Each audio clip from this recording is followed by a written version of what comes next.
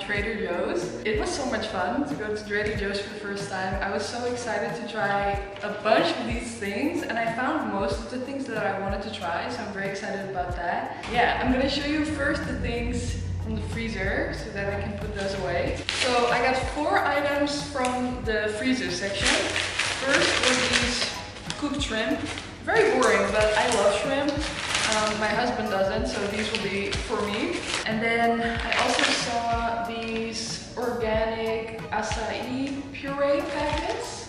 So I thought we could start making our own acai bowls at home because I do really love a good acai bowl. Um, so I thought this was fun to try. And then these are two things that I didn't know in advance that I would like to buy. So luckily I found them. First is the barbecue teriyaki chicken. So this is in the freezer section and I'm very excited to try this. Uh, I heard that it's very good, so let's see. And the same goes for these Trader Joe's Gone Bananas dark chocolate covered banana slices. So cute with little monkey on the back too. I think these look so good. Uh, such a good like little snack especially in this Miami heat, it's great to have a cold snack. So I'm excited about those. Let's get started on this other stuff. Um, I will start with some boring things. We got some hand soap because we were running out. So just the lemon kitchen hand soap and the lavender chamomile hand soap for the bathroom. This is something I really wanted to try because I saw someone online uh, having these. These are the Trader Joe's Almost Everything Bagels. These apparently have 10 grams of protein per bagel, which I think is so great. So yeah, I'm excited to see if they're very nice. I do already know Dave's Killer Bread bagels, so I'm excited to see if these are better or different. Of course, for in Trader Joe's, I also had to look at the spice mixes. I had to get everything but the bagel seasoning. I love this. I've had this before because my brother and my father actually took it back um, to me in the Netherlands when they went to Washington DC. So they especially went to Trader Joe's to get this for me because I wanted it so bad. So I know that this is good. So I'm excited to have this here. And then I also got this because I heard that it's very good on shrimp. That's why I also wanted to get the shrimp. It's the Trader Joe's Cuban style citrusy garlic seasoning blend.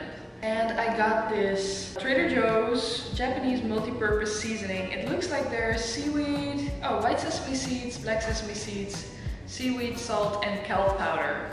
So I think that's gonna be very nice. We make a lot of like poke bowls, so I think this is gonna be great on top of that. Then we got a bunch of different drinks. First, I got this banana and almond butter protein smoothie. There's quite a lot of calories in this and not that much protein in my opinion. But uh, I did hear that this is very good, so that's why I wanted to try it.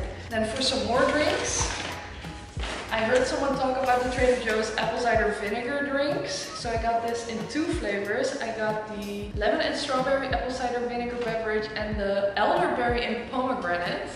That looks very good too, I'm excited about that. Then my husband found this and really wanted to try it. This is the Trader Joe's sparkling coconut water with yuzu. We really love yuzu. So I'm excited to see if this is nice. And I saw this. This is the Trader Joe's rhubarb and strawberry soda. Sparkling beverage made with tart rhubarb and strawberry juice. This looks so good. We got one of the I wanted to try one of those because I did get like a salad kit at Whole Foods. Um, and I really, really like that one. So I wanted to try another one at Trader Joe's. This is the avocado ranch salad kit. Um, I heard that ranch is very typically American from one of my husband's colleagues' fiance, who is also here. So I'm excited to try ranch dressing in this salad kit. And then I got some snacks, because of course we need some snacks. We got just some very boring dry roasted unsalted almonds. And then, pièce de résistance, we got dark chocolate covered espresso beans. And I also got these, Coffee Lovers espresso beans, chocolate covered espresso beans inspired by your favorite sweet coffee combinations. So very excited.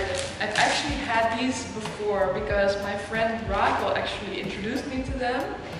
Um, so this was also on my list of something that I really wanted to find, but I have tried these before and I love them. They're so good.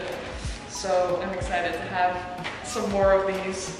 And I'm not sure what flavors these are supposed to be, but they look very good. So that is everything I got at Trader Joe's. I thought it would be interesting to show you or to tell you um, the total I spent. I spent $70.35.